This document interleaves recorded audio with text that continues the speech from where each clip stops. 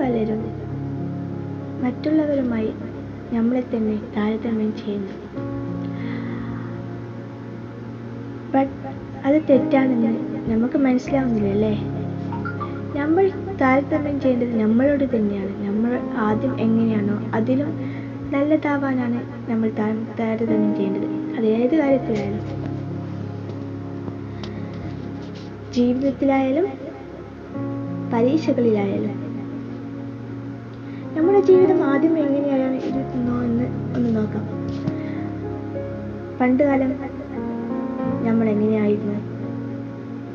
ഇന്നലെ നമ്മൾ എങ്ങനെയായിരുന്നു അതിൽ നിന്ന് എന്തെങ്കിലും വ്യത്യാസമായി ഇന്ന് നമ്മൾ ചെയ്യണം.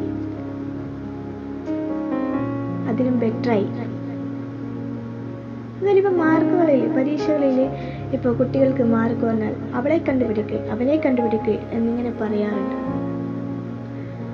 പക്ഷേ അത് രക്ഷിതാക്കൾ ഞങ്ങളുടെ കുട്ടികളോട് ചെയ്യുന്ന ചതിയാണ്. അത് ഒരുതരം സമ്മർദ്ദത്തിന് അവരെ വഴി തെളിയിക്കും എന്നാൽ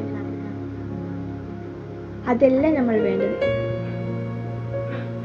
രക്ഷിതാക്കളെ നമ്മൾ നിനക്ക് കഴിഞ്ഞ പ്രാവശ്യം എത്ര മാർക്ക് ഉണ്ടായിരുന്നു അതിനും ചോദിക്കേണ്ടത് അല്ലാതെ അവളെ കണ്ടുപിടിക്കുക അവനെ കണ്ടുപിടിക്കുക എല്ലാവരുടെയും ബ്രെയിൻ ഒരുപോലെയല്ല.